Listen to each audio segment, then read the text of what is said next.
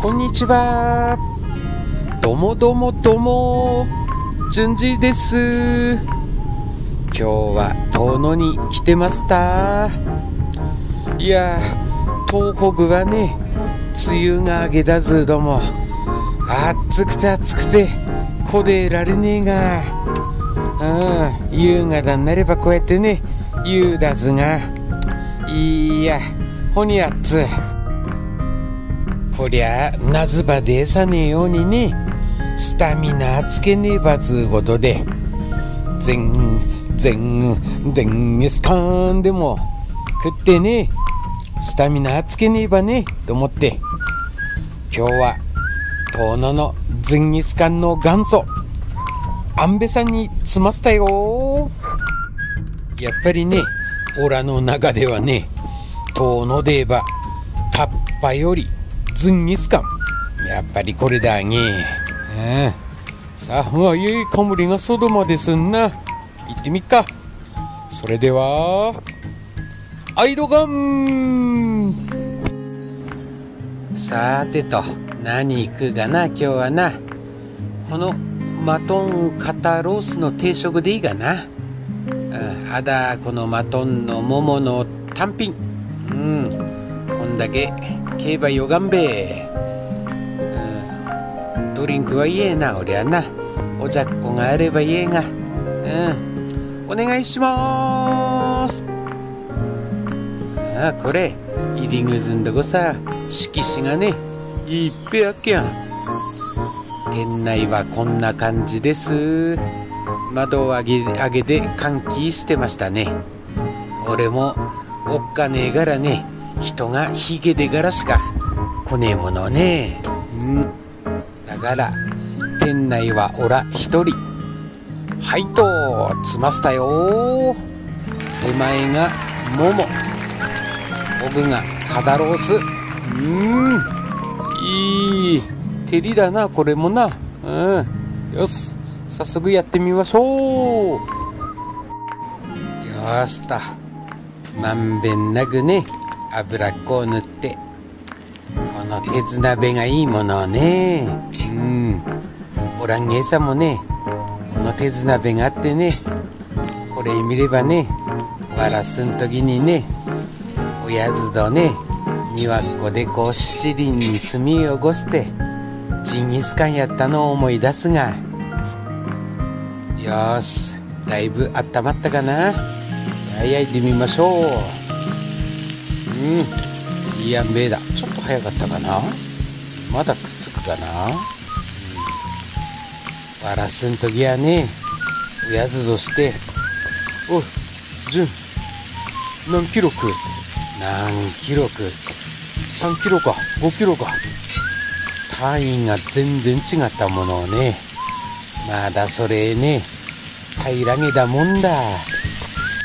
まだねおふぐろがジンギスカンド野菜とかねあのニンニク味噌であえてけんの。それがね最高にうまくてね。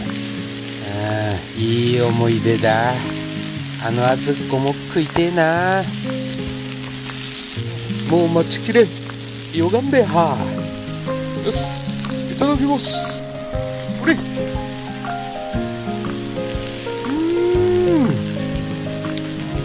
まござんす。あタレもこれこれ。やっぱりねこののずんにつかまね。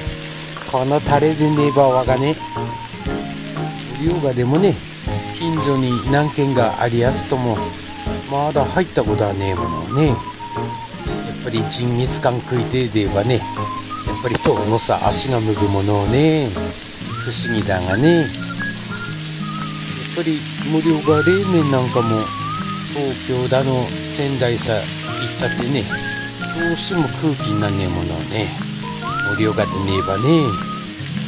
2枚目いっちゃうぞ。よ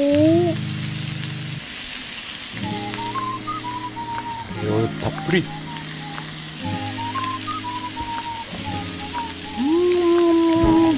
うん。やっぱりね遠野で食うから。一つも二つもつがんだでば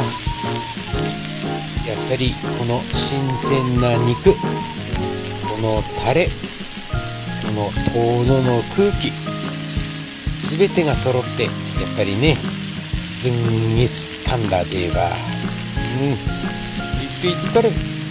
焼き焼き。安倍さんはね創業が昭和30年だと。えばは60年以上だ。あー立派なもんだね。おうんまそうだこれは肩ロース。まんまが進むぜよ。うん。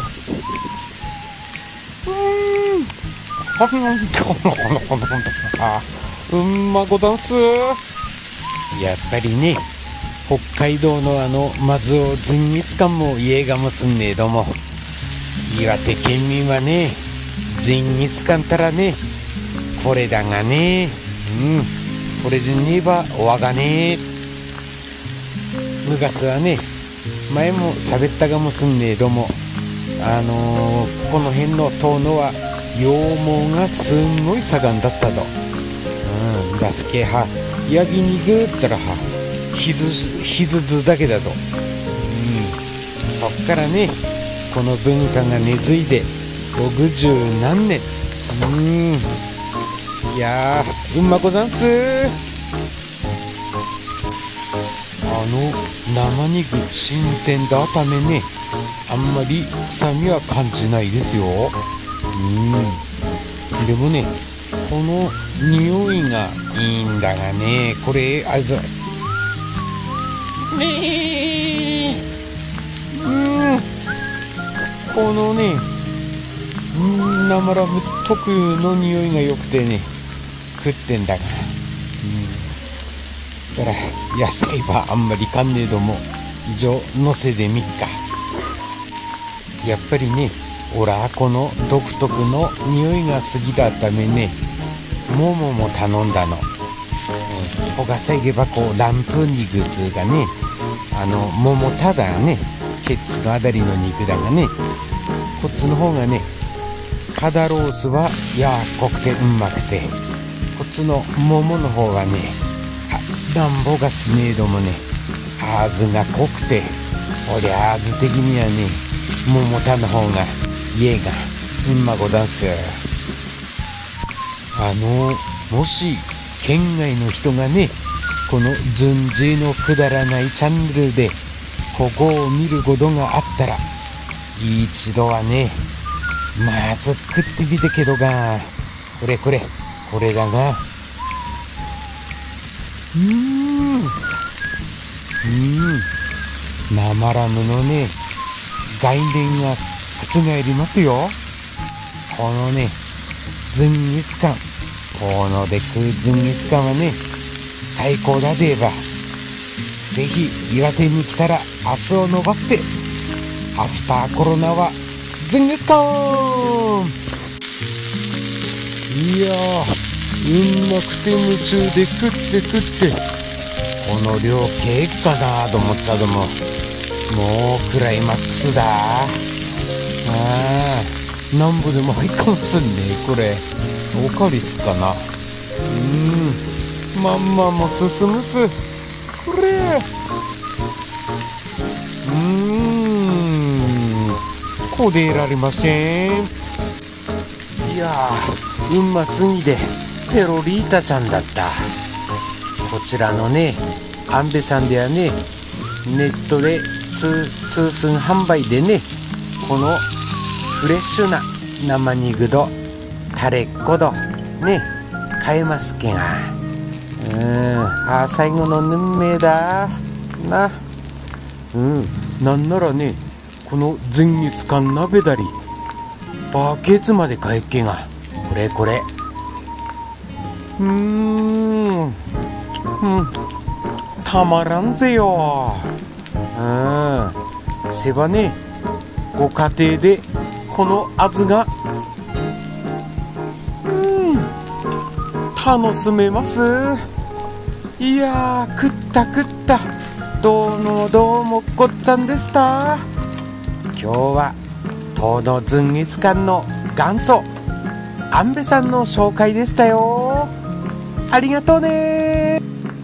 君を抱いていいの心は今どこにあるの？手がへばね